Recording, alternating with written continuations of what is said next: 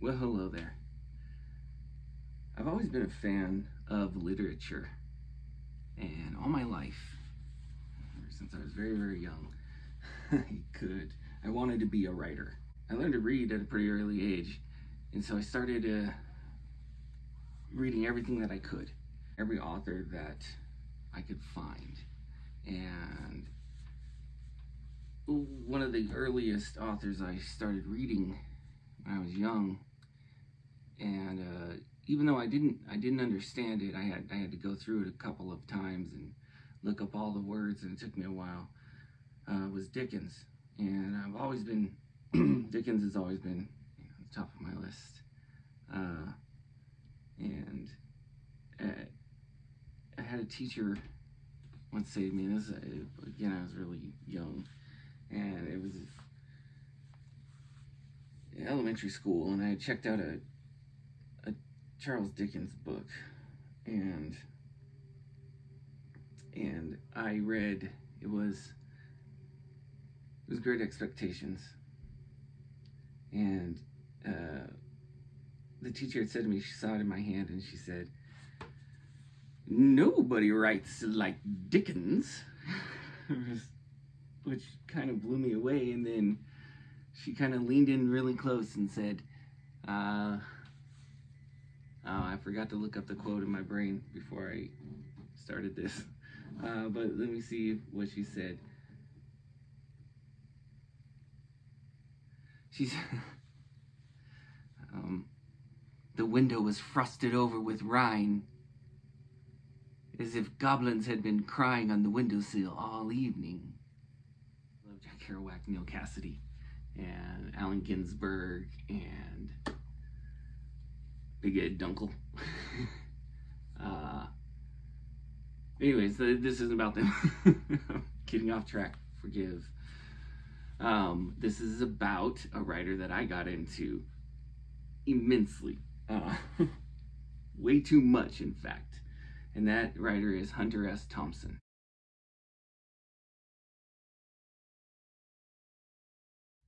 And um, didn't do, I, I was very straight edge in school.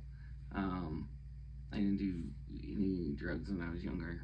and I didn't like even like drink alcohol or anything, right? And you know, I'm not. I didn't used to. I got into Hunter S. Thompson younger as a kid, and I read everything that he ever wrote. And a lot of things that people step over and forget about when talking about Hunter S. Thompson is they they always go to the gonzo journalism and the craziness and the drugs and the, uh, you know, fear and loathing in Las Vegas.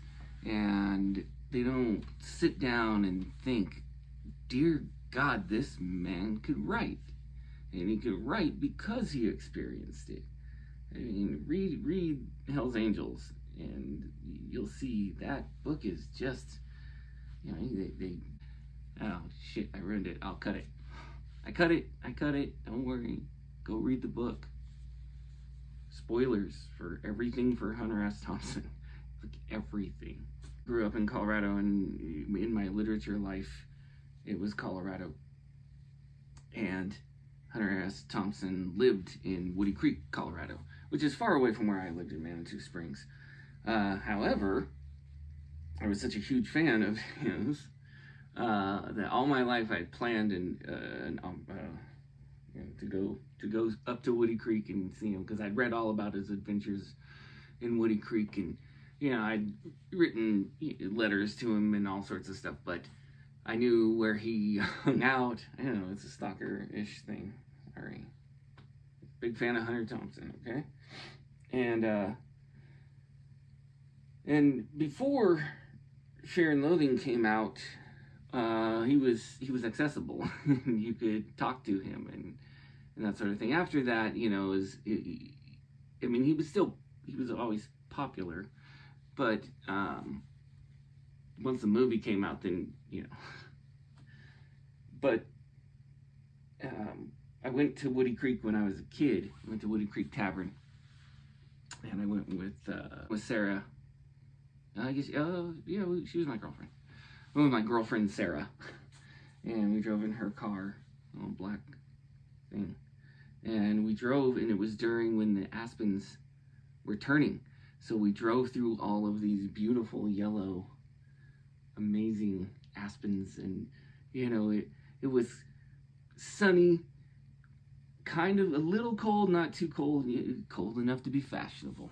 And we drove uh, all the way through the Aspens, because Aspen, Colorado is right next to Woody Creek, Colorado, basically the same town. Um, uh, but it's far it's far away from Manitou. I think it's like two hours the way that we took. We went like the long way also. Um, but we went there because there wasn't like tweets and stuff in those days, you know. Um, he he went. He, I found out. I forget. I forget how I found out, but I found out that he was going to be in Woody Creek uh, for a little while. I don't know, whatever I heard. and so, you know, I knew he hung out at this tavern. So we went up to the tavern and we got there and it was like kind of midday. Sat down and all the stuff. And, uh, you know, I told the lady I was exactly my intentions. And she was like, yeah, that's fine. She's like, but don't, you know, don't bug him. She's like, he's friendly, but just, you know, go sit over there. She's like, it might be a long time before he even comes in. He may not even come in. If he does come in, he doesn't, he, he may stay forever or he may, you know. And she's like, so you can't bug him. So the only thing that I'll do is you go and sit over there. If he comes in, I'll let him know. And if he calls you over, then you can talk to him. If he doesn't call you over, leave him alone. So, and I was like, okay. And this was like before the movie. it was like, who, fuck this guy? Who's this guy? Uh, but so I sat. We sat there for, I don't know. We were we were there for maybe 20 minutes, and we were gonna go play like a game or something. And he came in, and I sat there, and I like like I freeze up around celebrities. I can't uh, handle it. Um, people know that. so the Ryan Reynolds story is true. I just I don't know why I freeze up. Celebrities are no better than anyone else. Okay, I get that. Um, but you look in Ryan Reynolds' I can see what you have to say. uh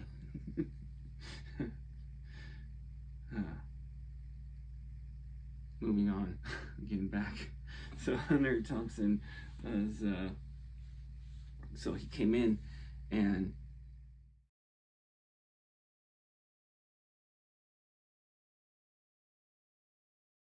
he sat down at, uh, I guess it was, I guess he sat at the bar. I was sitting at the table and, you know, I was doing my best not to like look over at him like so I'm not like staring like a like I'm already being, being creepy, but he was my hero, you know. And uh, we were sitting there for a little while, and then he turns and like looks at us and like he looks and he waves like over, and I got like super excited and like got up, and uh. I almost, I think I almost spilled a drink. Like I ran over there, and he's like, "Not you, jackass, the girl." it was, it was like, "Oh shit, I'm sorry." And so I went to go back, and he's like, "Ah, no, I'm just kidding with you." So I got to meet him, and it was great. And uh, yeah.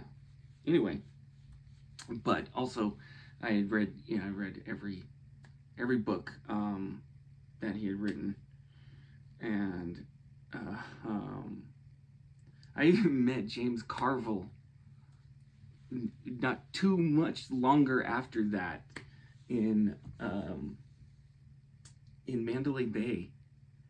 I happened to be there, and I happened he happened to be there, and I happened to recognize him, and he was. I said, "What did I say?" Oh, some. You know, I don't know what to say. I never know what to say. Okay, but I was like, uh, James Carville said it like I said it kind of weird like that, and he's like, and I was like, I met Hunter S. Thompson. And he's like, he's like, what do you want, a picture or something? And I was like, no, no. And I like shook his hand and then he's like, oh, okay. He's like, you're, and then he like went on. It was like kind of, he was, you know, nobody, nobody ever has time for my shit.